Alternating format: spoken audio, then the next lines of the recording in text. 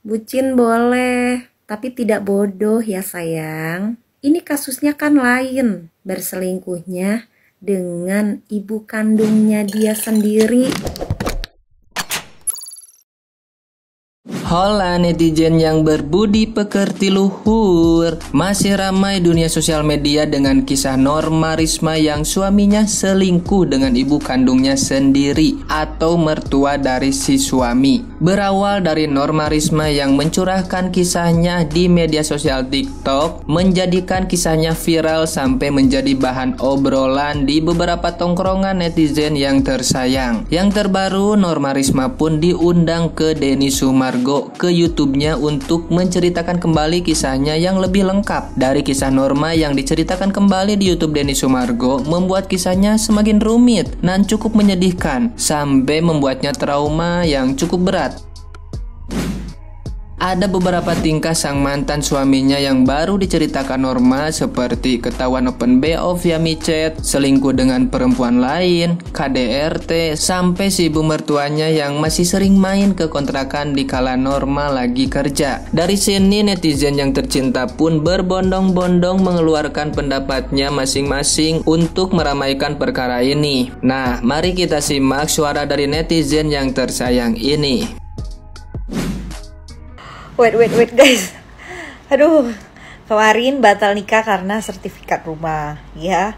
Udah sekarang ada lagi yang lebih gak masuk di akal lo guys. Aduh bener-bener gak tahu lagi aku mau ngomong apa. Bener-bener kayak yang FTV itu real loh gitu. Real yang ada di TV-TV itu real. Kok bisa sih gitu? Ah kok bisa? Astaga gak tau lagi mau ngomong apa bener-bener guys bener-bener gak tau mau apa lagi kasihan banget sih mbaknya. Sabar mbak. Nanti pasti dapat pengganti yang jauh lebih baik. Sabar mbak sabar mbak sabar. Aduh bener-bener deh istega banget itu tega banget kedua-duanya. Sabar mbak we love you.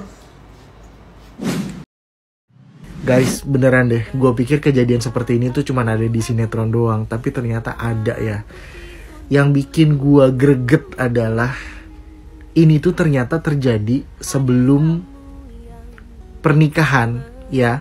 Bahkan ketika mereka pacaran hal ini tuh sudah terjadi. Gue gak ngerti ya mbak Norma ini logikanya dipakai atau enggak ya sebelum menikah dengan seseorang yang udah ketahuan tabiatnya tuh seperti apa. Um, satu hal ya yang bisa kita pelajari dari masalah ini jangan terlalu bucin kalau kita cinta sama seseorang itu harus sewajarnya aja. Jangan berlebihan harus dipakai logikanya. Tentang kasus yang si viral si cowok begituan sama mertua. Menurut gue yang 100% salah itu si cowok. Kenapa? Gue nggak peduli siapa yang ngajak begituan duluan segala macem. Karena buat gue yang seharusnya inisiatif untuk menolak duluan yang harusnya menahan nafsu itu adalah si cowok.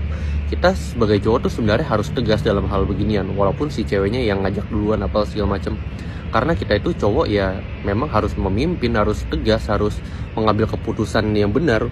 Dan si cowok ini gak bisa melakukan hal tersebut. Dan pada akhirnya keputusan dia menyakiti semua orang menyakiti si istri menyakiti keluarganya semuanya.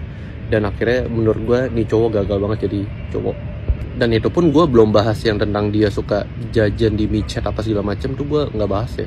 Ini gue masih bahas yang tentang mertua lagi rame banget berita soal suami yang kimpoi sama mertuanya sendiri. Soalnya si istrinya ini namanya kan Norma ya. Nah si Norma ini tuh mergokin suaminya itu selingkuh sama ibunya sendiri. Wah si Norma itu pasti sakit hati banget itu.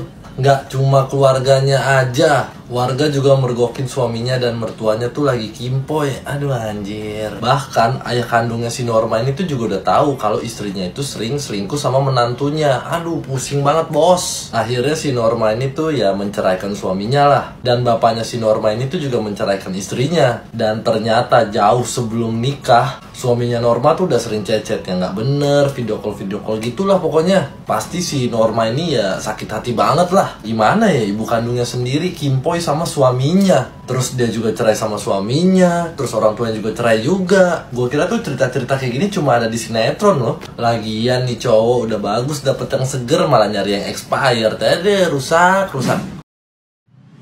Bucin boleh tapi tidak bodoh ya sayang. Ini kasusnya kan lain. Berselingkuhnya dengan ibu kandungnya dia sendiri ini banyak ya komen yang masuk ke saya katanya uh, dia juga pernah mengalami hal yang sama tetapi bukan dengan ibu kandung, dengan kakaknya sendiri.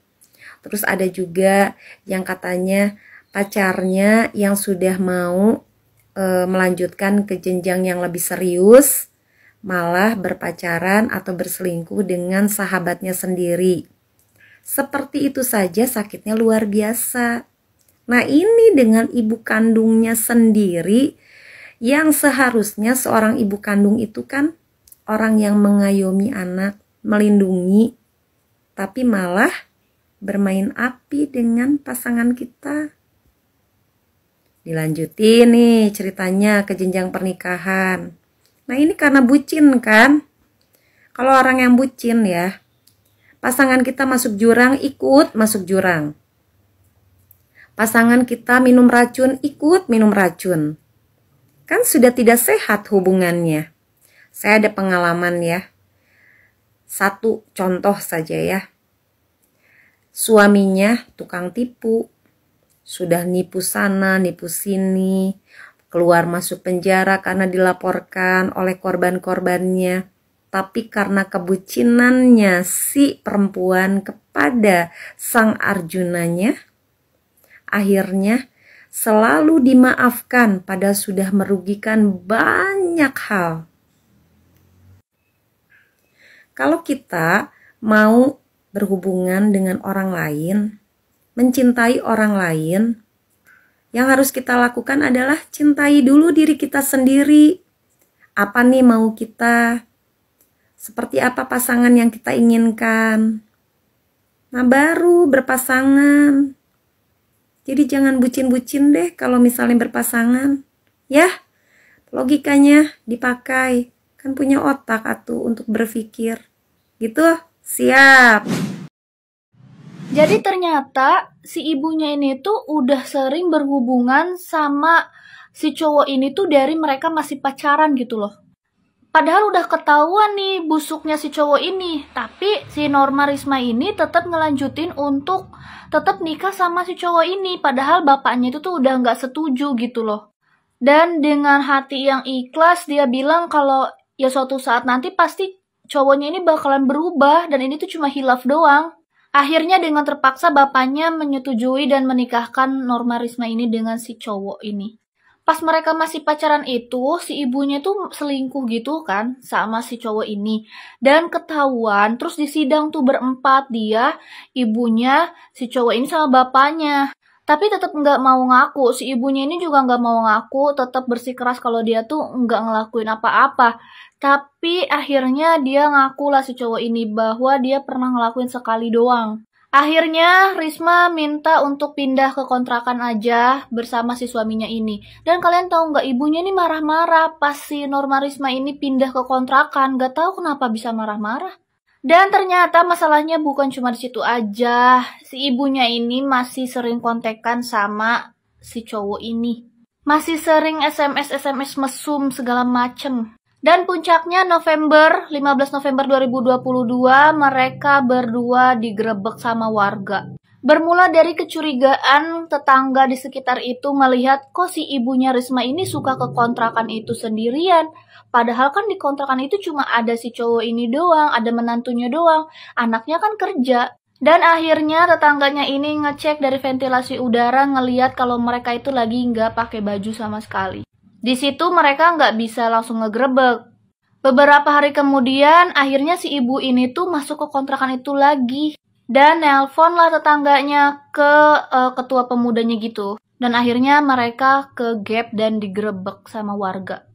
Dan pas di sidang pun dia nggak mau ngaku dan ibunya juga nggak ngaku sama sekali. Nah, itu dia ya hadirin sekalian mengenai komentar serta sindiran netizen yang berbudi pekerti luhur untuk informasi yang sedang ramai terkait suami yang selingkuh dengan ibu mertuanya. Jadi gimana nih menurut kalian? Silahkan berkomentar ya. Oke lah, seperti biasa jangan lupa tidur.